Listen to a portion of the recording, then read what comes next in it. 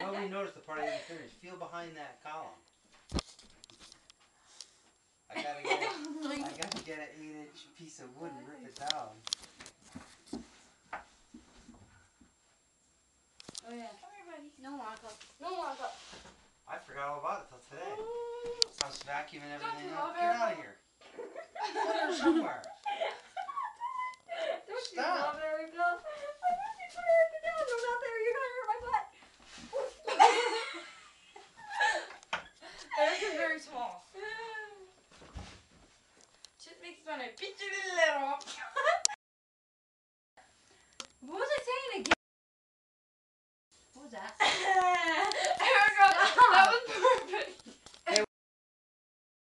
That was perfect. When you guys put your rats up here, you, when you clean them every week, splash water and crap all over the place.